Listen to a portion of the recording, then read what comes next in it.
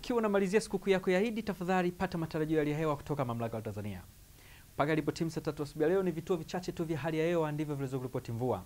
Wakati kwa usiku wa leo tunatarajia hali ya ukavu ijitokeze katika maeneo yote ya nchi yetu. Kwa hapo kesho, mpenzi mtazamaji, ni matarajio yetu mvua nyepesi ijitokeze katika pwani ya kaskazini, wakati upepo wa bahari katika pwani hiyo ya kaskazini tunatarajia uvume kwa kasi ya kilomita 30 kwa saa ukitokea kusini. Hali ya mawimbi ya bahari tunatarajia itakuwa ni makubwa kiasi. Nyanda za juu kaskazini mashariki tunatarajia maeneo hayo kuwa na hali ya ukavu.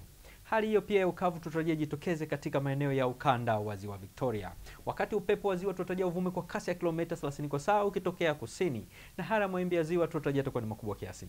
Hali ya ukavu pia tunatarajia jitokeze katika maeneo ya magharibi mwa nchi yetu ikihusisha mkoa wa Katavi pamoja na Rukwa. Hali kama hii pia tunatarajia jitokeze pia katika mkoa wa Singida pamoja na Dodoma wakati mkoa wa Morogoro tunatarajia utakuwa na hali ya mvua nyepesi kwa maeneo machache pamoja na vipindi vya jua. Hali kama hiyo ya mvua nyepesi tunatarajia pia jitokeze katika mkoa wa Njombe pamoja na Iringa, wakati mkoa wa Mbeya pamoja na Ruvuma, maeneo hayo tunatarajia utakuwa na hali ya ukavu kwa ujumla. Mvua nyepesi tunatarajia jitokeze katika pwani ya kusini, wakati upepo wa bahari katika pwani ya kusini tunatarajia uvumi kwa kasi ya kilomita 20 kwa saa ukitokea kusini mashariki. Hali ya mawimbi ya bahari katika pwani ya kusini tunatarajia itakuwa ni shwari. Mpenzi mtazamaji, tumalizie utabiri wetu kwa kuangalia viwango vya juu na vya chini vya joto kwa bara la Afrika kwa ujumla.